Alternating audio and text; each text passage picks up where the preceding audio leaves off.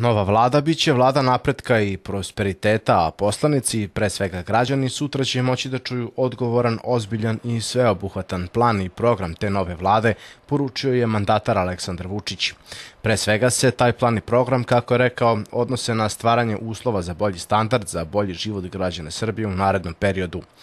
Taj plan ne može sam da se ispuni, iza njega mora da stoji tekako posvećena grupa ljudi koja je to punim srcem i koja želi da građani Srbije žive bolje, rekao je Vučić, dodajući da je predao listu ministara u skladu sa odlukama političkih stranaka. Želimo da sa novom energijom, novim entuzijazmom krenemo u velike pobede, u velike uspehe, jer Srbija više nema vremena da se zadovoljava malim, da se zadovoljava time da bude na dnu ili pri dnu, ili da budemo naročito srećni ako nismo na sasvim na dnu, Srbije je vreme da krene polako prema vrhu u svim oblastima društvenog života i zato mislim da su predstojeće četiri godine vlade Srbije i zlatno doba za Republiku Srbiju i za njene građane.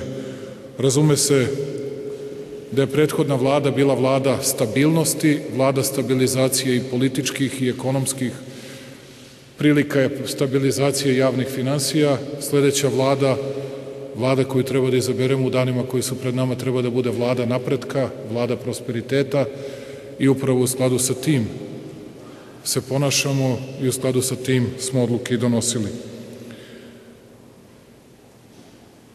Najbolji način da to uradimo jeste da svežinu kombinujemo sa iskustvom, posvećenošću koju su neki ljudi već pokazali i ja sam siguran da će svi predloženi ministri dati sve od sebe, dati 100% svojih mogućnosti u ispunjavanju tog cilja, kao što sam siguran da i oni koji su bili ministri da će nastaviti na različite načine i u dobroj veri da pomažu daljem napretku Republike Srbije i njenom ubrzanom razvoju.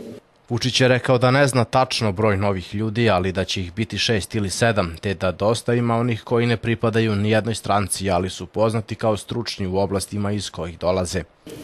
Ana Brnabić iz Naleda će voditi državnu upravu i lokalnu samoupravu. Mislim da je to veliko pojačanje za vladu Republike Srbije.